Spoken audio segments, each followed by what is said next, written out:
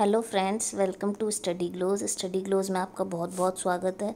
इस लेक्चर में हम Ganges river dolphin conservation programme पर बात करेंगे। जैसा कि आप अपनी स्क्रीन पर देख रहे हैं। देखिए, ये भी जो जानवर है, ये देखिए, सबसे पहले डॉल्फिन आपके दिमाग में आता है कि फ़िश है और ये रेप्टाइल होगा। नहीं, ये मैमल है। अब देखिए मैमल कौन होता है? जिनकी मेमोरी ग्लैंड्स होती हैं मतलब जो अपने बच्चों को दूध पिलाते हैं।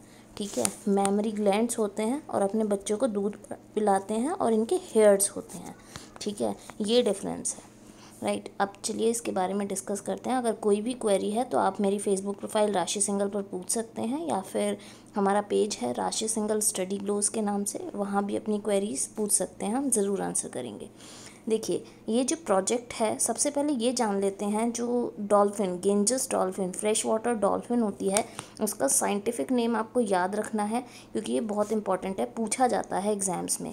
इसका नाम है प्लेटेंस्टा गेंजेटिका ठीक है? और इसे गेंजेस सूसू भी बोलते हैं। सूसू क्यों बोलते हैं? क्योंकि ये थोड़ी थोड़ी देर में मतलब विद इन सेकेंड्स में ऊपर आती है पानी के और सांस लेती है, ठीक है? क्योंकि ये पूरा टाइम पानी के अंदर नहीं रह सकती। तो within thirty seconds to one twenty seconds में ये बाहर आती है और सांस लेती है और जब ये सांस लेती है तो सूसू की आवाज़ आती है। इसलिए इसे गेंजेस सूसू बोलते हैं, या ब्लाइंड रिवर डॉल्फिन भी बोल सकते हैं, और South Asian river dolphin, and finally Ganges dolphin तो बोलते ही हैं। ठीक है, अब ये जो है बहुत ज़्यादा डेंसली पॉपुलेटेड एरिया में रहती है मतलब बहुत ज़्यादा पॉपुलेशन है, वहाँ लोग रहते हैं तो इसलिए ही ये इसका रीज़न है कि ये ख़त्म होती जा रही हैं।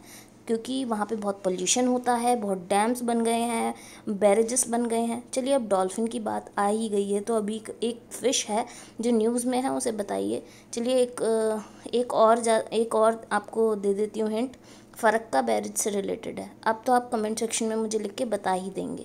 देखिए, ये जो है, ये फ्रेश वाटर में रहती है और खाली गेंजस ब्रह्मपुत्र और मेघना रिवर सिस्टम में मिलती है।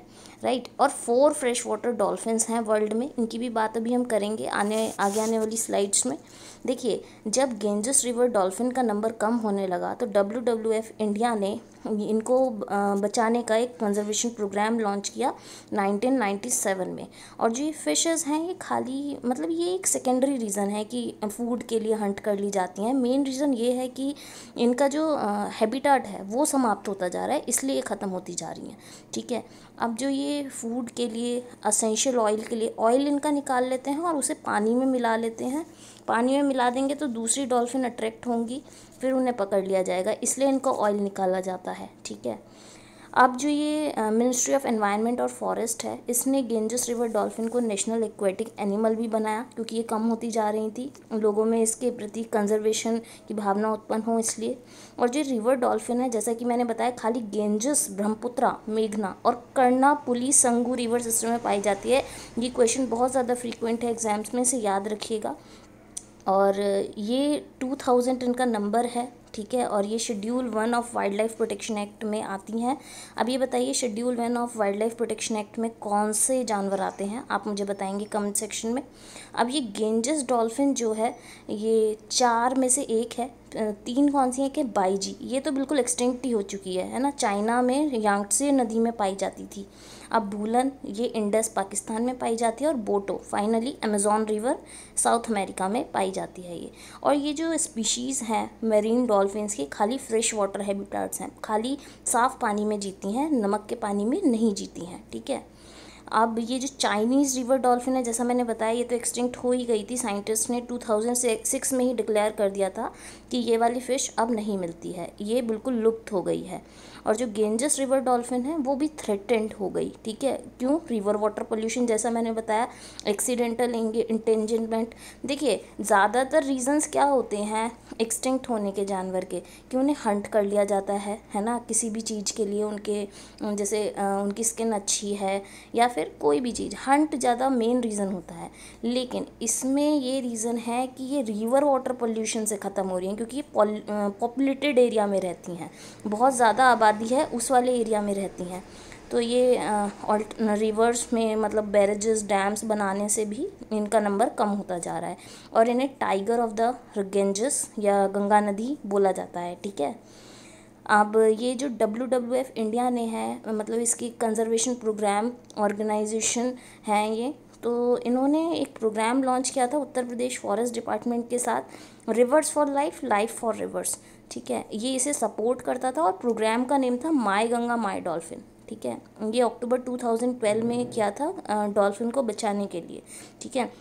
2800 किलोमीटर के स्ट्रेच में था गंगा के जो कि यमुना, सोन, केन, बेटवा, इन सब के किनारे पर भी ये लॉन्च किया गया था प्रोग्राम अब जो ये डिक्लाइन है डॉल्फिन्स का, ये काफ़ी बड़ा कंसर्न है, ठीक है? इसके लिए अटेंशन भी चाहिए और अटेंशन दिया भी, है ना? इंडिया ने काफ़ी अच्छा ये प्रोग्राम लेकर आए इन्हें बचाने के लिए, ठीक है?